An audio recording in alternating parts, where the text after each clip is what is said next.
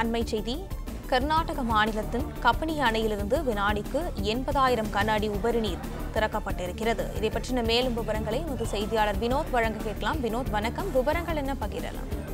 கர்நாடக மாநிலம் காவேரி நீர்பிடிப்பு பகுதிகளில் பெய்து வரும் கனமழையின் காரணமாக அங்கு இருக்கக்கூடிய கபடி மற்றும் கிருஷ்ணராஜ சாகர் அணைக்கு வரும் நீர்வரத்து தொடர்ந்து அதிகரித்து காணப்படுகிறது. இதனால் இரு அணைகளிலிருந்து தற்போது தமிழகத்திற்கு ஒரு லட்சத்தி இருபதாயிரம் கனஅடி உபரி நீரானது திறக்கப்பட்டிருக்கிறது. நேற்றைய தினம் நாற்பத்தி ஐயாயிரம் முதல் அறுபதாயிரம் கனஅடி வீதமே தண்ணீரானது திறக்கப்பட்டிருந்தது.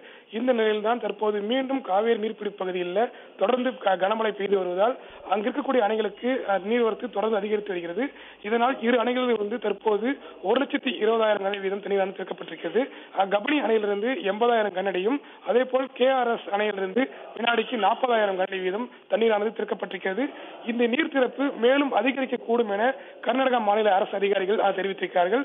இதனால் அந்த காவேரி படுக்கையில் இருக்கக்கூடிய கிராமங்களுக்கு தொடர்ந்து வெள்ள அபாய எச்சரிக்கையானது விடுக்கப்பட்டிருக்கிறது.